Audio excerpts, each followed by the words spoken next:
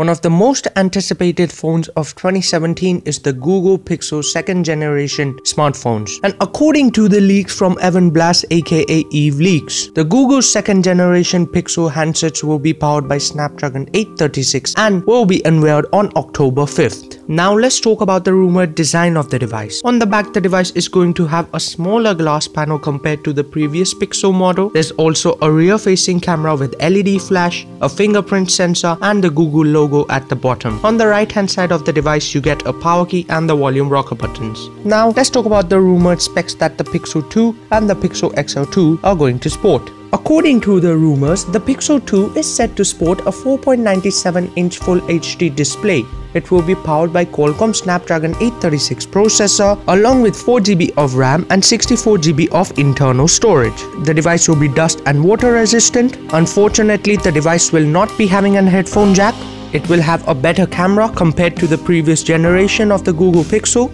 According to the rumors, the Pixel XL2 is set to sport a 6-inch Quad HD display with an aspect ratio of 18s to 9. It will be powered by Qualcomm Snapdragon 836 processor along with 6GB of RAM and 128GB of internal storage. The device will also be dust and water resistant. The Pixel XL2 is set to sport a squeezable frame like the HTC U11 which allows you to perform certain tasks and functions of the device. Both the devices are going to be running on the latest version of Android Oreo. So guys that's it for the Pixel 2 and the Pixel XL2. And for more weekly tech news leaks, specs, rumors, reviews and unboxing videos, do subscribe to my channel.